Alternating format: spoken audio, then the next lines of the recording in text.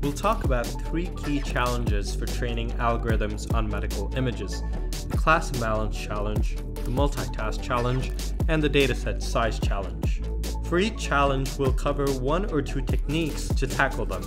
Let's start with the class imbalance challenge. So here's the challenge. There's not an equal number of examples of non-disease and disease in medical datasets. This is a reflection of the prevalence or the frequency of disease in the real world, where we see that there are a lot more examples of normals than of mass, especially if we're looking at x-rays of a healthy population.